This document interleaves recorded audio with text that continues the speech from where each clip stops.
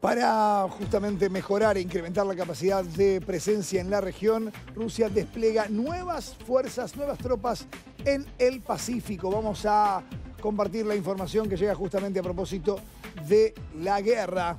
Rusia realizará lanzamientos de misiles y pruebas de torpedos como parte de la inspección sorpresa de su flota naval del Pacífico, dijo el viernes el ministro de Defensa Sergei Shoigu.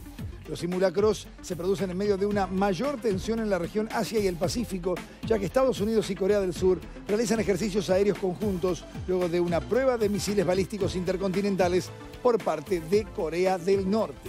El objetivo principal de esta inspección es aumentar la capacidad de las Fuerzas Armadas para repeler la agresión de un probable enemigo desde la dirección del océano y el mar, dijo Shoigu en la televisión estatal.